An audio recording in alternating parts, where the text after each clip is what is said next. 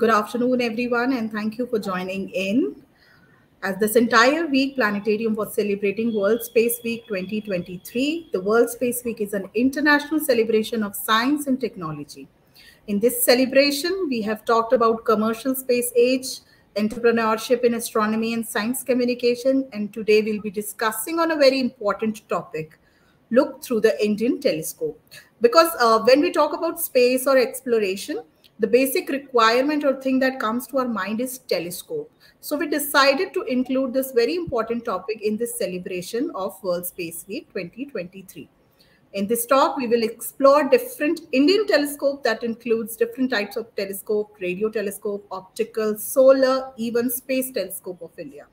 This talk is also make people understand that there are more to telescope they are of different shapes and sizes, and sometimes we see the result on the screen and process our result. Some objects in sky emit different wavelength, and that's why there are so many different telescopes. We will also look at some of the foreign telescope in brief.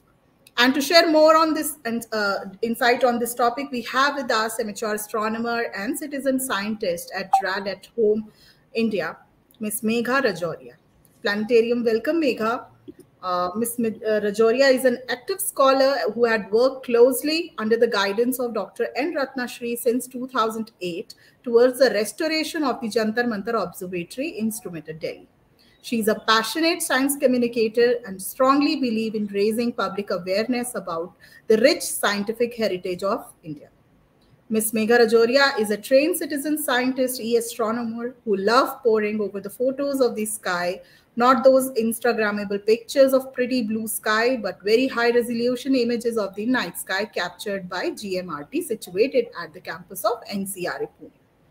Ms. Rajoria is part of growing citizen science collaboratory that is RAD Home India, the first Indian citizen science research program in astronomy, the zero funded, zero infrastructure nationwide inter-university collaboratory has been established at the platform where any BSc, BE, undergraduate, postgraduate can do multi-wavelength extragalactic astronomy research by utilizing the power of internet. In the past, she was associated with Doordarshan and with Council of Scientific and Industrial Research, National Institute of Science Communication and Policy Research. Beside this, she's been teaching visually impaired students of Blind Relief Association in Delhi Recently, she completed her research project as PI, which is Jantar Mantar Research Project under Nehru Planetarium, in which a lot of undergraduate students were involved to get hands-on experience. Soon, she will be presenting her this work on international platform. Presently, she is also volunteering at the planetarium in New Jersey, USA. So we have a lot, good, a lot of good memories with Megha. In the past, we have done a lot of work together, and uh, after a long time, uh, Planetarium got privileged to host her talk on this platform wholeheartedly on behalf of Prime Minister Museum and Library and Nehru Memorial Museum and Library. I welcome Megha Rajoria to share more detail about such an interesting topic that we are going to discuss today. Over to you, Megha. Welcome. Thank you, Prerna ma'am. Thank you so much. Uh, and uh, I welcome all of you here today uh, in the World Space Week. And as Prerna ma'am said that uh, we have done quite a few talks in this week and today we are going to talk about uh, Indian telescope in detail. Uh, I, I, have tried to um, made a comprehensive uh, presentation where we are going to talk about different types of telescope and understand that how telescopes work at different wavelengths and um, there is so much to talk about telescopes uh, anyways and in whatever limited time we have today uh, we'll try to touch upon everything. But if there are few things that are left out or you want to discuss with me you can always reach out to me on my email id and you can take it from Prerna ma'am. Uh, let me share my screen.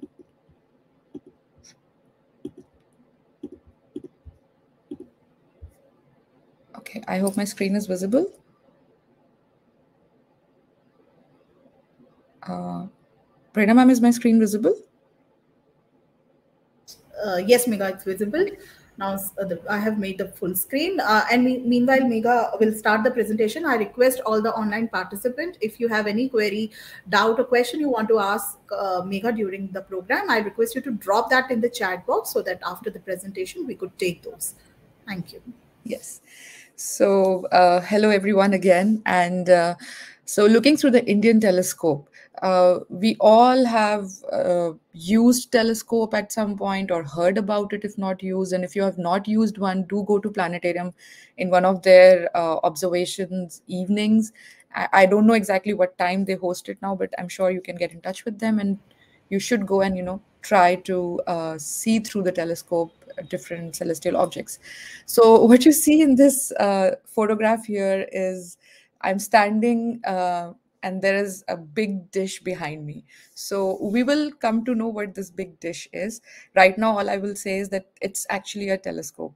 So all this while, uh, we think that telescope is something you know that is basically a rod and there is an eyepiece and you look through it so that's what that's how it was you know invented at one point of time in 1609 by galileo when he pointed this tube thing towards the sky and saw the moon.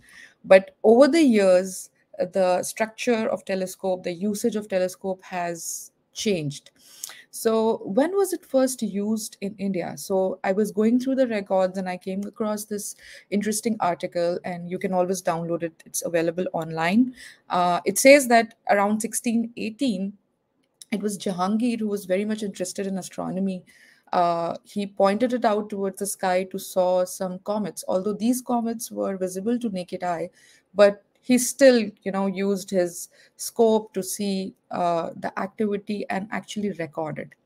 So I won't bore you much with the historical details, but I think it's important to understand the chronology from where we have come uh, today.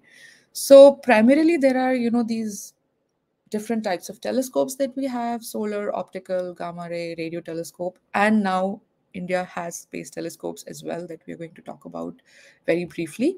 So this is the spectrum and uh, you must have studied it at some point of time in your school or in your college. And uh, we know that this is the uh, visible spectrum here, the visible region that is visible to the human eye but there is a part of the spectrum which is not visible to the human eye. So you see radio microwave infrared and then you see ultraviolet x-ray and gamma ray. So the part that is not visible to the human eye is the part where different telescopes come into picture. So we will know about them in the coming slides. So let's start with the visible spectrum first. So sun that's the biggest thing that we see in the sky. And we have solar observatories. So we have we do have those in india as well. But why do we need them? So we need solar observatories to understand sun. What are sunspots what are solar flares? Uh, if there is any change in the solar radiation and if these solar flares are going to affect the satellites that are going in our orbits and in the space so likewise, we have a couple of solar observatories in India as well. So I'm just going to quickly talk about one or two. Um, one of the solar observatories, Kodaikanal Solar Observatory, is one of the oldest solar observatory, uh, which was established in 1898, and which is actually, um, you know, uh, observing and photographing the sun for such a long time. And it's also during the solar eclipse when different filters are used to understand what goes on during during a total solar eclipse or a partial solar eclipse because there are certain activities and experiments that can only be conducted while the sun is eclipsing. So that's where you know these observatories uh, become very interesting and useful. So uh, similarly we have an observatory in udaipur as well and udaipur has clear skies almost throughout the year except you know a few days where uh, it, the, the, skies are not that clear. So that makes this observatory very important because it can actually uh, observe the sun for the longest you know period of time. So this particular observatory has also been studying the sun's chromosphere for the last three decades. And as you can see that it is surrounded by water. I haven't got a chance to visit here. I wish i can someday. So if you get a chance to visit here please do. Uh, because of the water the air turbulence you know reduces and due to that the ground heating hence lowering the ground temperature. So all these factors are important while observations are done and it affects the observation. So um, maybe that's why you know that it was built right in the center of the water. So now coming to optical telescopes. So these are the kind of telescopes we usually deal with. Uh, most of you might have an op optical telescope at home just to you know look at the moon or a few planets that are visible in the evening sky or in the morning sky. So optical telescopes are also primarily of two types. One is a refracting telescope and the other is reflecting telescope. Now what's the difference between the two? So what you see here in this image is uh, there are two scopes but one is a refracting telescope that's got lenses the right one and the other one is the reflecting telescope that's got mirror in it. Now why these two are different? So let me show you my next slide. So uh, let me also tell you this that all the images that i've taken are primarily from uh, wikipedia not my own images. So just making sure that uh, there is no copyright violation here. So what you see in lenses when a visible light is entering this lens it is getting you know like this. So when you see uh, the rays coming in they are not focused at a point at a single point. And that calls for chromatic aberration so because all the rays all the uh, rays of the visible spectrum are not getting focused at a single point you don't get a very clear image. So the image that you see here it may not be that clear even in this slide. You see that at the top of this house there is a blue line so what happens that when you use a mirror telescope, that reduces the chromatic aberration.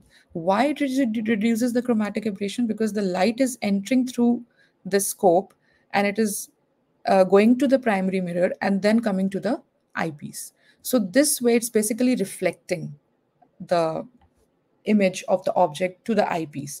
But in case of refracting telescope, the light is entering and it is supposed to get focused here so that the eye can see through. But that's not really happening in a very good way because there is some sort of aberration because they are not focused at a single point. So this is, I just compiled a slide just to make it a little bit more interesting for you. So what is magnification and resolution? So we know here that this formula theta is equal to 1 by uh, lambda by d and uh, theta is nothing but your angular resolution and lambda is your wavelength and d is your diameter, diameter of the mirror or the aperture of the telescope per se. So what really happens here is in this dog image that I really like, and it's for all the dog lovers too, uh, who are also astronomy lovers. So uh, you see that there is a magnification, like you basically zoomed in. And so it's the power of the telescope that decides the magnification, is like how fine details, how much fine finely you can see through that telescope. So you see that it's a normal image, then you zoomed in a little, then you zoomed in a little, little more. So when you magnify your object, you see that this one, the right one, is little blur, but the left nose of the dog is fine. You can see the fine details. Now, when we talk about resolution, resolution is being able to distinguish between the two objects. So what you see here, uh, you know, you see one dot, then you resolve it, it little more then you see two dots and but they are very close to each other then you see them clearly so if we take a very easy example um, a binary star system. When you look it through a telescope you really have to you know adjust your scope in a way that uh, you can resolve between the two stars. You may initially see it as one star but if you make your resolution better or if your telescope has a better resolution what you see is a proper binary star system. So just to give a very easy example here Hubble telescope. So Hubble has a very good image resolution for the reason that has it has really big mirrors. So the mirror of Hubble is about eight feet in diameter. So I found this image, of course, from NASA's uh, credit goes to NASA. So this is the mirror of the Hubble. Maybe at the time of the making, they got this uh, image, and this shows that you know how the resolution plays such an important role with the size of the mirrors. So uh, this is not an updated slide, but this will give you an idea that all the circles that you see here are basically mirrors. So bigger the mirror, better the resolution, you can say. So what you see on your right hand side lower corner is a basketball court and this is a tennis court. And you can see that there are mirrors that are bigger than a basketball court or a tennis court. So uh, that is just to play with the resolution. And so there is this tmt in mauna that's supposed to come up which is even bigger and bigger um, mirrors that have been worked on. So if i quickly take you a little back in time uh, vainu bappu observatory is one of the very old observatory that has its roots actually in the 17th i think 18th century uh, when it was actually the idea came up uh, by the Britishers to set up uh, an observatory in Madras. And uh, so this is an observatory which has a diameter of 2.3 meter. And at that time, it was like the largest telescope in Asia until the DOT was set up. So DOT is the Devasthal Observatory. Uh, which we will see in the coming slides. And there are some famous discovery that uh, this particular telescope has done, like you know the the rings around Uranus, the outer ring of Saturn, and likewise. Then we have aries. So uh, that's me. That's a very very old picture about a decade old when i was an intern in aries. And uh, you see that there are actually four types uh, four different telescopes in not types but four different uh, optical telescopes in uh, part of aries the aryabhatta research institute of observational sciences uh, 104 centimeter, 130 centimeter, 3.6 meter, and 4 meter. So um, the telescope right behind me, which is this one, is 1.3 meter, which is 130 centimeter. And then we have uh, we have Devasthal Optical Telescope, uh, which is 3.6, and there is also 4 meter ILMT, and uh, likewise. So what's happening in this particular telescope. So we are looking at star variability, we are looking at blazar variability, we are looking at quasar variability, and there have been different uh, ring systems around Saturn, Uranus, and Neptune that were discovered uh, by Aries. So these are the observatories that play a very important role in from the research point of view because uh, if you're doing your masters or you're doing your PhD, you go and learn at one of these observatories. Uh, you do your observations, you discover new things, you learn new things about the sky and the celestial bodies that are, you know, visible in the sky. So this, this is for all the uh, students who have joined in here.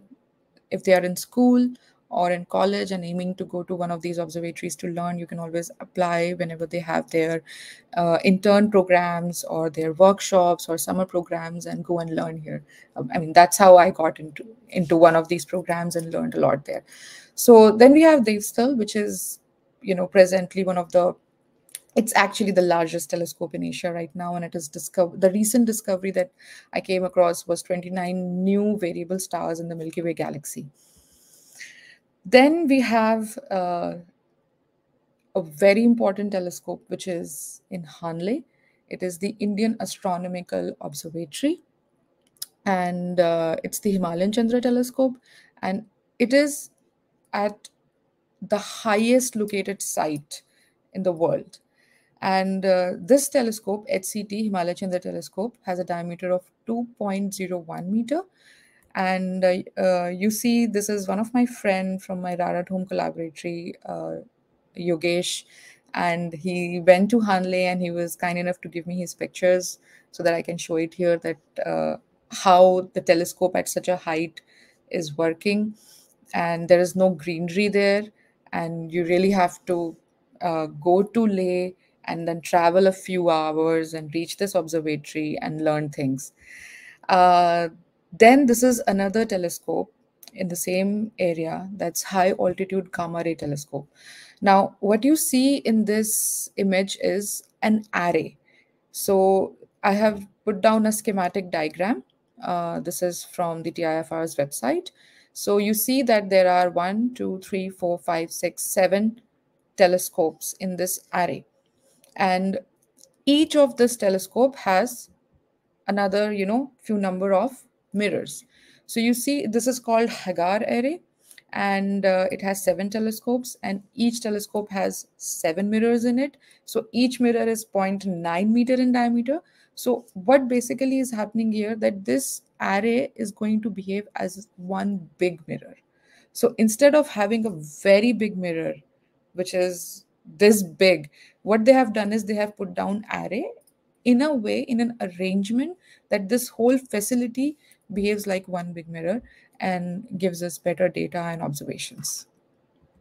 So we are not going into much detail of these things because uh, this is just an overview of different telescopes in India and to just to help you understand that uh, there are different kinds of telescopes within India where you can actually go, you can visit, you can learn, and maybe if you are a student, you can apply through different programs and be part of those organizations and uh, learn more. So now coming back to the electromagnetic spectrum, which we have already talked about in the previous slide. So this was our visible spectrum, the visible light that we saw through the optical telescopes. But what when we are beyond this range? So when we are beyond this range, there are different telescopes that help us see through. So we all know about JWST now.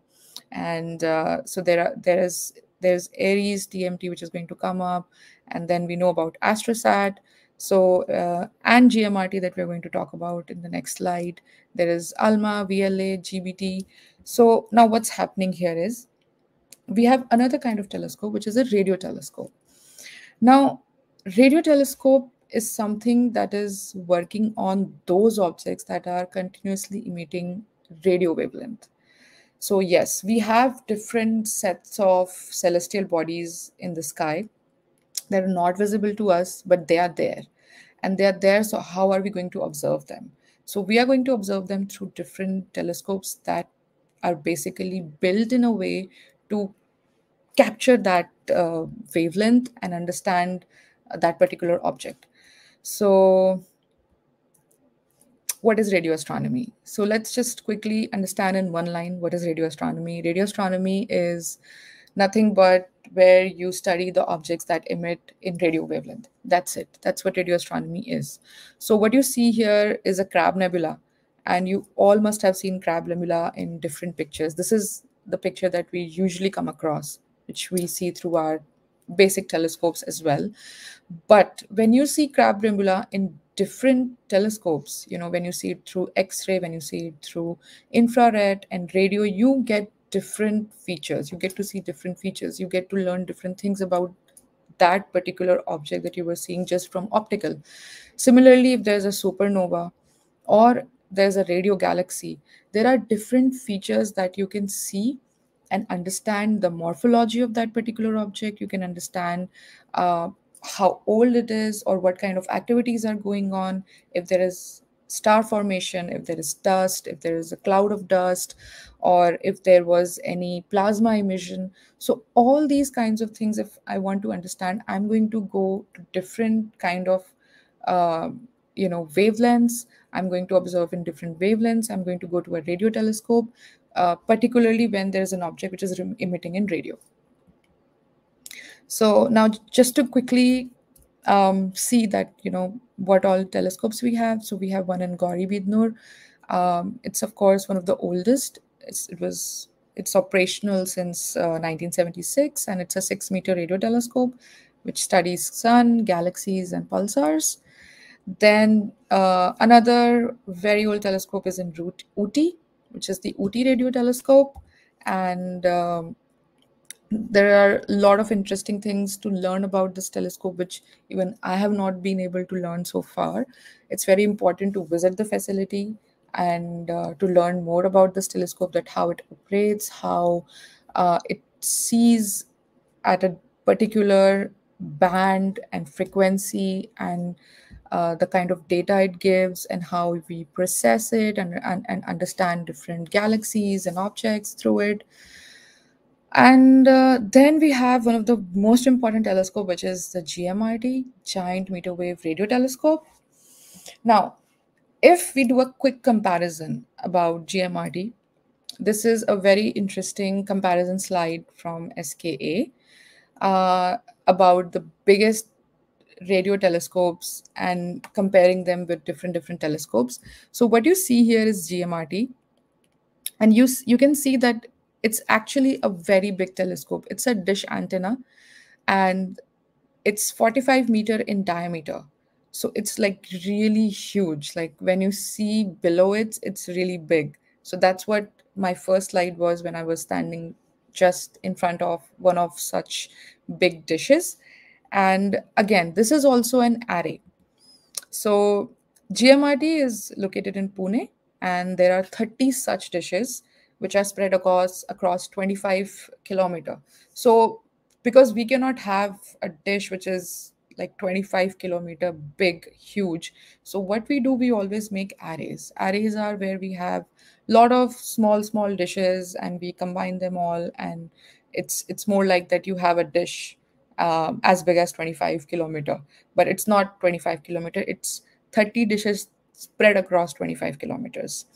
So this is how they look like from uh, like if we have a panoramic view this is how they look like. They are spread across this whole area. And i use this image of red fort just to uh, give you a comparison that the height of red fort is 33 meter approximately uh, a little more than 33 meter and this dish has a diameter of 45 meter. So just to make you understand that how big one of these dishes are. And so these dishes are really big and um, because they are so big what you see in this image is uh, you see that there actually nothing is visible. It's a very fine mesh that is there so to make sure that if there is air gushing through, uh, the dishes are so big that you know if there is wind or there's a storm, it should not fall down. Uh, there is a very fine mesh so that the air can pass through. So that's how the dishes are made. And uh, this is a comparison slide between the very large array of uh, telescope in New Mexico and GMRT. So the dish antenna in New Mexico of VLA is um, 25 meter in diameter and we have 45 meter in diameter. So you can imagine it's like almost double of what is there uh, in VLA than what we have in GMRT.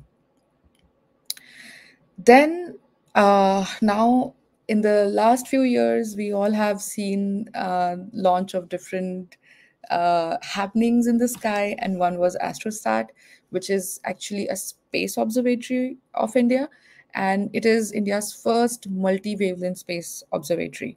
So this, as you know, that it's basically a group of five telescopes. So it has a lot of cameras and everything, and it is continuously um, scouring the sky and taking different images, sending back the data, and making us understand different things that are happening in the in the space. And then this is another important uh, observatory that we have just launched, and it's soon going to reach its designated point, L1. And uh, we all were very excited when the launch took place. So uh, I just got this GIF from Wikipedia, and just to make it a little interesting and understand that how uh, it's going to reach the point. So you can see in this GIF that uh, it's first taking the orbit of Earth, and then it's finally going there in the atmosphere and this blue point that you see is the L1 point. So that's where it is going to be and it is a solar mission where it is going to uh, study the sun. So now coming to how you can use these facilities or how you can learn more about it there is a very simple way. So if you are not a student if you are a working professional like me and you still want to be part of uh, an organization where you can learn more about these telescopes, or you can particularly learn about radio telescopes and radio astronomy, and you can use one of these facilities, uh, which is GMRT. The best place is Rad at Home Astronomy Collaboratory India. You can simply go on the website and uh, join uh, Rad at Home. It is India's first citizen science research project in astronomy, which I have been part of since 2013. So it's been a decade now that I've been part of this uh, group. And uh, we are not an amateur uh, organization here. We are uh, connected to uh, different experts and professionals from this field. So uh, the PI of this collaboratory, Dr. Anand Hota, uh, himself is a person who has discovered quite a few uh, galaxies that I don't want to talk about in this presentation. But yeah, uh, you can join the collaboratory. You can learn more about uh, uh, radio astronomy, radio telescopes, particularly GMRT. And the most important thing is that you can do research, you can discover things, and you can do all of this just by sitting at home. So um, there is this wonderful tool that is available on the website of Rad at Home India. You can simply go and look for RGB Maker.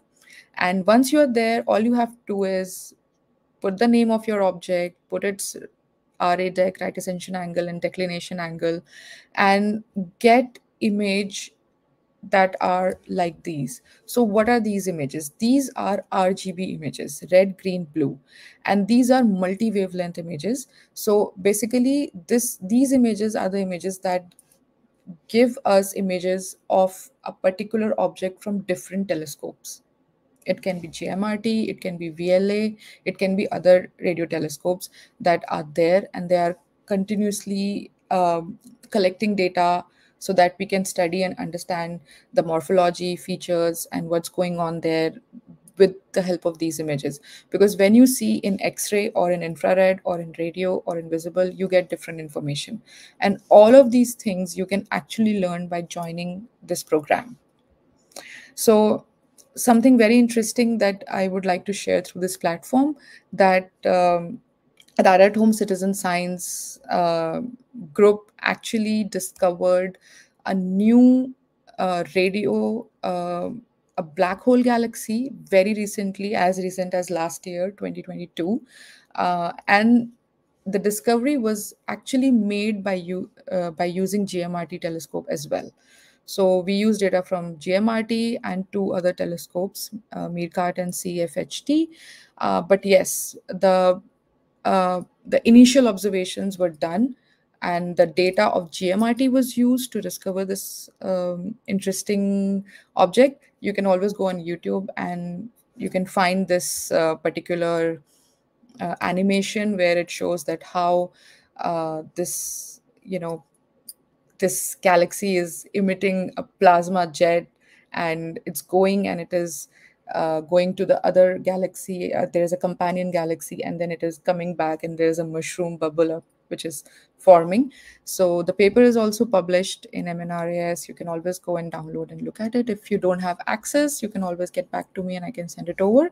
So what I'm trying to say here is that all these facilities are existing and you can be part of this and you can discover sitting at home and you can research sitting at home all you the only qualification is that uh, if you are uh, a student you should be bsc be and btech and uh, or if you are a professional then you you have your basic degree in bsc be or btech and you should have internet that's it so uh, last but not the least because i have been doing a lot of research uh, a lot of observations at Jantar Mantar observatories um, for over 15 years now. And I did a lot of work with Dr. Rathnasree. I learned so much with her.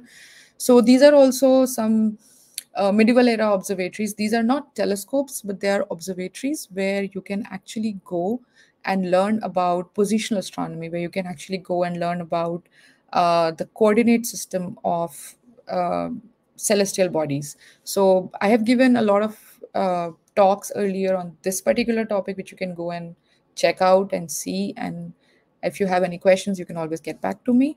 So uh, we also have a paper published, and it's also a kind of a citizen science program where you can learn about coordinates, you can learn about heritage astronomy, you can learn about uh, how to go and walk into a lab and take data.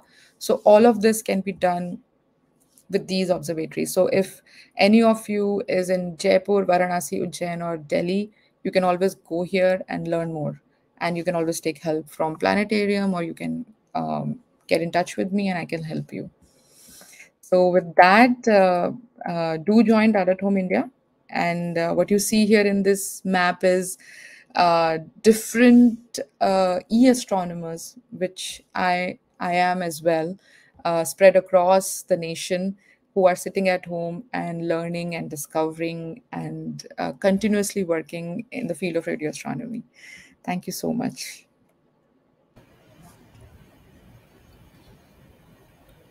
Thank you, thank you, Megha. Uh, first of all, for sharing such beautiful presentation, illustrated presentation, and also the references which you have used is really uh, going to help uh, all the participants who are who are uh, online with us today to get get the better uh, clarity and comparison uh, yes. between, and also the time lapse you have shown about what what the changes in the field of telescopes happen from the pipe towards the huge gigantic telescopes we have today in our country. So uh, thank you for sharing all that uh, lovely information with us. And now I think we could take some of the questions yeah. uh, for the session.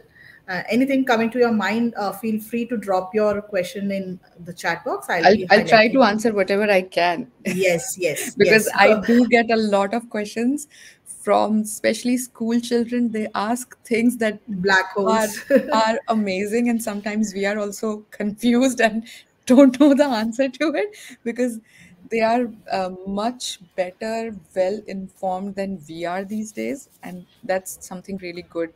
Uh, they use internet and all sort of things but uh, if even if you are in school and you are thinking to pursue uh, in this field or you are you have likings to this field it's always important to be part of an organization or a group and planetarium is the best place.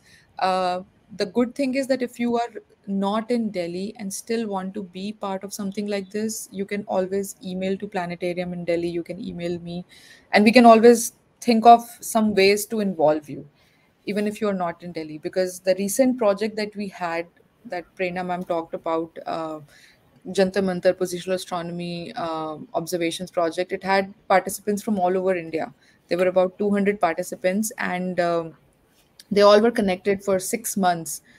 So, irrespective of whether they are they were not in Delhi, but they were part of this uh, program. So, I will urge all of you that if you have interest and liking towards astronomy, telescopes, radio astronomy, uh, you can go beyond these talks and lectures and be part of these organizations. Definitely definitely. All all organizations which megha mentioned they have their uh, summer workshops and uh, short term and long term programs. So you can definitely go through their website for all the latest updates. Like aries nainital do organize such camps for yes. all the students in which they uh, allowed participation from all over the country. So you can get in touch with all those organizations and if you have any specific you can write to the planetarium. We can certainly organize any kind of a workshop in your school or respective college. I think now we'll, we'll take some of the questions. Before going towards the question megha i want you to elaborate because many of the time in your presentation we have uh, get continuously two terms specifically which is uh, uh, the telescope and observatory. So to begin with, let's give a comparative uh, differentiation between what is the telescope and when we talk about the observatory, what are the things that comes, uh, uh the basic difference between the observatory and telescope and when we yeah, talk about so observation. You can have a telescope at home also, but you don't have an observatory at home. Yes right? So you can have your small telescope and you can just see through it in the sky and you can, look at moon or stars or anything you want to. But when we say observatory observatory can be a telescope observatory or can be something like jantar mantar because that is also an observatory where you actually go and conduct certain experiments uh, look at observe something. So observe can be with naked eye it can be through telescope. So when you observe something with telescope it's a telescope observatory like we have across the nation. And you know they, there are facilities there are control rooms where and there are ccd, CCD cameras because uh, for example aries where i did my internship uh, so you have a telescope but you also have ccd cameras there to click pictures of the object that you are looking at then you need a whole facility to you know process those images and make sure that you have got that data and understand what is going on. So that's basically a compilation of all of these things makes an observatory. Also uh, like jantar mantar so it's a medieval era observatory. Why? Because again we are going to this place to observe something but we don't have a telescope. So what do we have? We have these gigantic instruments um, misra yantra samrat yantra and likewise where you go and you take data of sun you take data of any celestial body that is up there. So that's again makes it an observatory. There's something where you go and observe you know is to be in very basic terms. Uh, thank you for the clarification because I just wanted to highlight this point specifically yes. because in Delhi, uh, many of the places we just uh, uh like don't give that kind of a emphasis when yeah. in terms of observation uh, comes. So with that, uh, we'll we'll take one question. Preetpal Sandhu. Thank you, ma'am. Thank you for writing uh, today because one of the name that Megha also mentioned in her slide was Preetpal Sandhu. So greetings from Planetarium. And ma'am would like to ask, how can we define the high resolution images? Hi, Preetpal. it's so good to have you uh, watch my talk and ask this question. Yes, of course. So high resolution images will be, uh, you know, where you are getting to see fine details of a particular object. So, like I showed the dog image, that was about magnification, but resolution is when you are able to resolve between the details. So, like I gave, I took a took an example of a binary star system. So, only when you have a high resolution image is when you will be able to distinguish between those two dots. Otherwise, if it's not a high resolution image, it will look like one dot for in case of a binary star system so yeah i, I hope i answered my question. So uh, any anything else? We have a lot of thank you and nice. Thank you sagnik. Good to see you here. Nikhil gupta.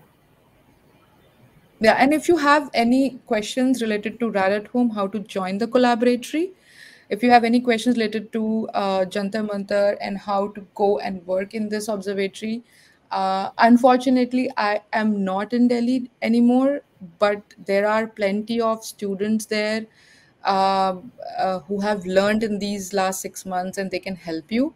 Uh, planetarium is always there to help you out and i'm always available online to you can reach out to me and i can help you with the observations uh, i'm also presenting this work as ma'am mentioned at the international astronomical union symposium in november in ethiopia so um, uh, I'm hoping that all the hard work that planetarium and about 50, 60 regular participants had put in going to the observatory and taking data will be showcased in this symposium. So we are also uh, yeah thank you uh, Jyotirmay for this. So higher aperture is like you know the diameter of the mirror. So if you have a bigger diameter you can see things uh, clearly better you know you get better magnification. So for example uh, i took example of hubble that hubble has eight about eight feet of uh, mirror in it. So why we have such a big mirror? Because when you have bigger mirrors when you have bigger aperture when your diameter is bigger in in lambda by d you have better uh, angular resolution. So bigger the diameter, bigger the aperture, better the resolution. So you can resolve your details better when you have a bigger aperture. And I think in connection to the first question, he also like to mention what will be a large aperture, uh, aperture telescope. Same, it's uh, the same you. thing. Yeah, yeah, it's the same thing that it will give you a better resolution. Uh, can you explain how the observations were taken for making the first real picture of black hole? Were those taken from an array telescope also? Uh, thank you, Amritansh. Uh, so yeah, so what what we did, what how Radar works is that uh, the GMRT in Pune is continuously looking at the sky and they are taking images of sky. I'm, I'm, I'm telling you in very basic terms for you to understand. So they are continuously taking images of the sky and they upload everything on their website.